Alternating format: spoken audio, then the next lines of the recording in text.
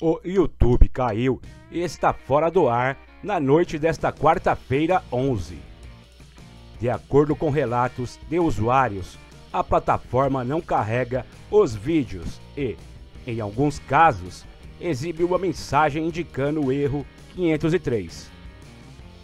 O Tech Tudo testou o serviço e não conseguiu assistir aos vídeos, tanto no PC como no celular.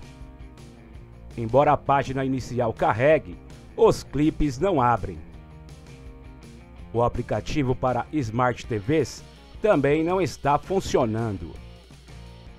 Segundo o DOL Detector, ferramenta que monitora serviços na web, a falha começou por volta das 21 horas e atinge diversos países, inclusive o Brasil.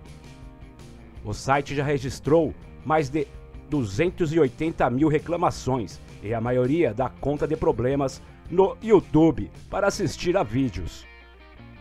Alguns usuários também relatam falhas para subir seus filmes na plataforma.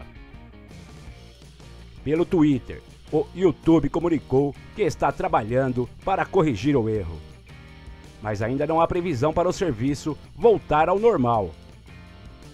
Em alguns casos, o YouTube não carrega os vídeos. Já em outros, exibe os códigos de erro 503 ou 400, indicando problemas nos servidores. De qualquer forma, nessas situações, não há muito o que fazer a não ser esperar o serviço voltar ao normal. Como se trata de uma falha geral, ações como encerrar o site e reiniciar o aplicativo não devem resolver o erro.